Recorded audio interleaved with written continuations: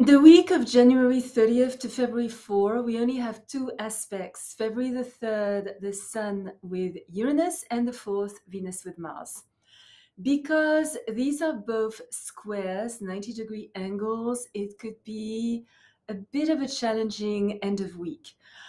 I personally don't particularly subscribe to the notion of negative and positive aspects because, in the end, it is really our consciousness that determines whether the outcome of a specific planetary influence is more destructive or uh, constructive.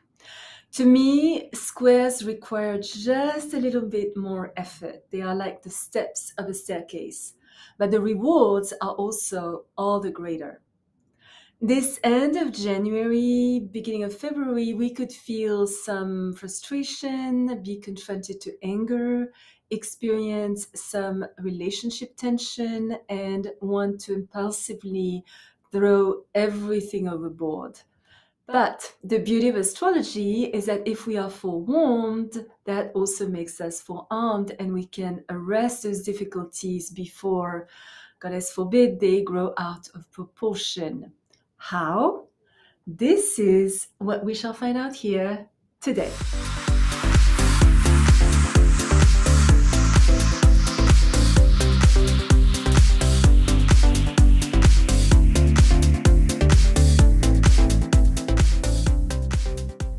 Good morning, bonjour, welcome to my channel where I talk about all things astrological. Michelle Karen, astrologer, shaman, author of Astrology for Enlightenment, published by Simon & Schuster New York, as well as the astrologically based Oracle deck, Attuning to the Quantum. I was selected to be the astrologer to the stars at the 78th Academy Awards in Hollywood. On Friday, February the 3rd, the Sun forms a square with Uranus. This can be either a wildly disturbing day or a very exciting day, depending on how flexible, innovative, independent, and adventurous we are. Sudden, unexpected events or obstacles could completely disrupt our plans. We could also realize that a lot of things we thought we always desired all of a sudden feel meaningless. We are likely to be rebellious against anything that is holding us back from expressing our true individuality, and that's always the need for Uranus. Um, the urge to seek new adventures is very strong, and it may require that we break old patterns and disrupt routines, especially if they became boring. We may need to reassess quite a few things in our lives, so this could lead to leaving a job that no longer challenges us, freeing ourselves from a smothering relationship, walking away from a toxic friendship changing an irre- irrelevant belief, moving if where we live no longer corresponds to our needs, or adopting a whole new lifestyle. Sometimes this disruption could be forced upon us from the outside. Larger social events completely beyond our control could disturb our comfort zone, testing our strength. There is a sort of revolutionary spirit permeating the atmosphere. Anti establishment demonstrations are likely to occur. We could completely disregard standard procedures and either feel at odds, even completely alienated from society, or develop a new social consciousness. Within all this turmoil and instability taking off in all directions at once could be tempting, but is not recommended. Weeding out outgrown areas of our life is good only if we are careful to not make sudden decisions. We need to exercise caution.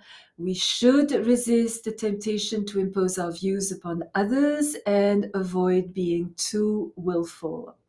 Erratic actions could make us discard or even destroy hard earned gains, leading to potentially disastrous long term consequences. So, yes, we do crave to be different on that day, yet it is important that we find constructive ways to express our originality. We are likely to develop our inventive genius, could be drawn to unusual hobbies. And if we adapt gracefully to the inevitable changes that Uranus always brings, and draw upon our ingenuity to handle creatively potentially difficult situations, this transit has an incredibly liberating effect. It is good for releasing outgrown conditions, getting rid of what no longer serves us, meeting new people, trying something we've never done before, and moving towards enriching experiences. This transit, Sun Uranus, has the potential to make us stronger, more self assured, and much clearer in our consciousness of what makes us unique. On Saturday, February the 4th, Venus squares Mars. This is not a very good day for any kind of social activity or financial transaction. We may lack social grace today. We could be rather tactless. Family relationships could be a little strained. People tend to be hypersensitive and easily irritable. Emotional confrontations are likely. Relationships could be fraught with frustrations, arguments, and disappointments. So, not really a lot of fun. And um, definitely impatience, aggressivity, or criticism could prove rather destructive. So, this is not the best day for a pleasant date, especially a first date. We could be pursued by someone we are not attracted to, while the person we do like proves distant or blows hot and cold. Our feelings are warm and affectionate. Our sexual drive is intensified, but could be upset by quarrels and capriciousness. Jealousy could be a cause of heated arguments. If we are already in a relationship, it will be important to reach a balance between our needs and desires and those of our partner. And make sure we settle any hostility calmly. To avoid any impulsive breakup we would later regret, we need to do our best to remain diplomatic, yet be very direct with each other, talk with great honesty, and make sure our expectations are not so high that they are impossible to satisfy. Because Venus rules not just love but also money, today we need to be careful as we may not be super good at managing our funds.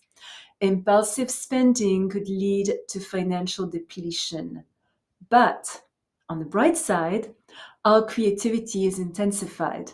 Artists could be particularly productive. Dance, music, dynamic partying as well as competitive sports help us release any pent up emotional tension. If you are already subscribed to my channel, thank you so much. If you enjoyed this video, you are most welcome to leave a comment, place a thumbs up, and hit that bell to be notified when I upload a new video once a week. Remember, as always, choose your battles Walk in Beauty. Thank you for watching. Until next time.